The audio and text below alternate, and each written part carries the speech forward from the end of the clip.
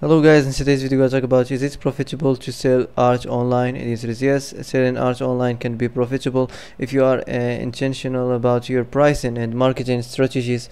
So that's for today, I hope this is the answer you've been looking for. If you like this video don't forget to like and subscribe and see you in the next video.